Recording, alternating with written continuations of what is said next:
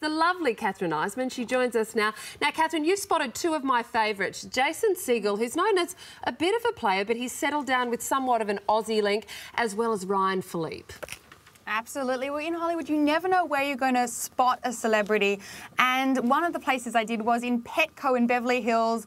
Yes, that's where I saw Ryan Phillippe with his son. Not a very glamorous location, but they were buying kitty litter, which is the least glamorous item. I think I can think of a few worse items, but yes, they were together. Um, Deacon, his son, with of course Reese Witherspoon, and Ryan Phillippe was perusing the aisles and picking out little kitty treats, and they were so cute. He looked very good looking. I can't believe that he has a seven-year-old son. Mm. Ryan Phillippe looks a teenager himself. He's a hot, a hot teenager. Mm, and Talking of hot teenagers. And, he, and, his son Deacon's just such a cutie. Now, Jason Segel, I was lucky enough to interview him a couple of months ago when he was out with Kermit, and he just seemed like the nicest guy. Isn't and look, honestly, that is his vibe. He has such a good, like, everyday guy next door vibe, which is true. Like, he's like that. I mean, he said he grew up, he was just smoking weed, and then he became this star.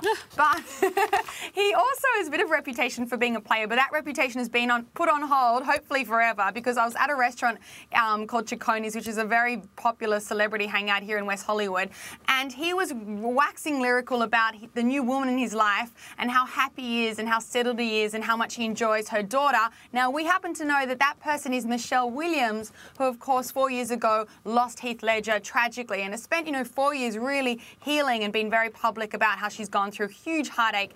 And they have fallen in love. And uh, he, they've been friends for years, and he's besotted, and they're spending a lot of time together. And he's being, he's going scootering with Matilda, and who knows? This could, she could have got a good one. So hopefully, fingers crossed, because she seems like a lovely girl. Now let's mm. move to Vegas. What's this hangover cure? Hangover bus that they send to you. What's that all about?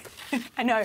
I want it immediately. I go, this, this redefines Vegas for everyone who's afraid to go because of the hangover. If you go to Vegas and you fall off the wagon, this is the bus to hop onto. It's called Hangover Heaven, and basically how it works, it's created by an anesthesiologist who was sick of hangovers ruining people's trips. So he decided that you could create this bus.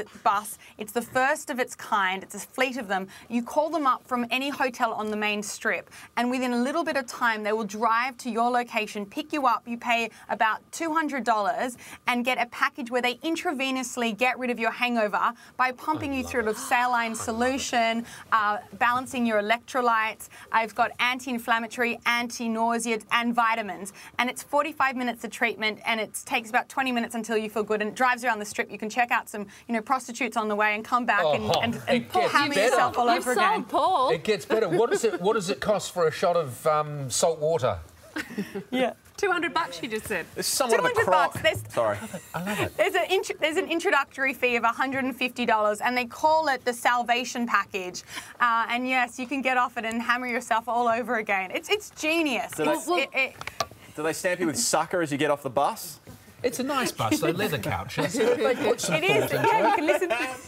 so perhaps you can listen Sorry, listen to music as you're driving along. Listen to music. They've made it like a, you know, it's got like a sunken lounge. I mean, they, have made it very. They've like tricked out the ride. It's very Vegas, a pimp, pimp mobile. So, so Kathryn, perhaps someone who might be needing this hangover bus is someone who's been to a vapor bar. We've spoken to you before about celebrities inhaling blueberry muffins and inhaling food, but now there are bars you can go to to actually inhale alcoholic vapor. Does it work? That's exactly. It does work. In fact, it works more effectively than using traditional liquid alcohol, if you can believe it. Because, you know, if you've ever, you know, inhaled something, it goes straight into your lungs and into your bloodstream. And if you drink alcohol, it has to be metabolized. I mean, you guys know, it goes through your stomach and your small intestine, so it takes a while to kind of get that payoff. But if you breathe it in, um, it hits you straight away. And it started off in London. Now there are vapor bars in New York and even individual vapor devices that you can get that which, which retail for about three thousand dollars, but you can have multiple users use them. It looks like a kind of futuristic bong,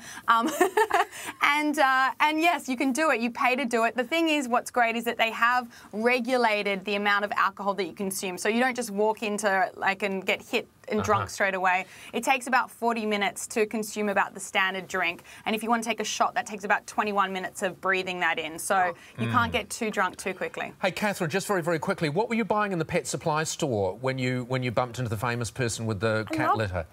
I love all the irrelevant but juicy detail. I was also buying kitty litter. Ah, we good. No, I matched, just and I have a cat. Don't Yeah. don't judge me though. I, I was I was going to say that, but I know people out there judge cat owners. But my cats are very cute, and so are Ryan You- you Phillippe is cute. that. You know. Yeah, no. uh, Well, fair enough. apparently, you know, people look like their pets or pets look like their owners. So you're hot, so your I cat would would, I'm sure, be hot. Thank you They're, so they're much. much better looking than I am. They're much better Oh, looking. that'd be hard to do. Thank you, hard. Kathryn. We'll speak to you again sometime soon. It's just gone 8.01 here on Breakfast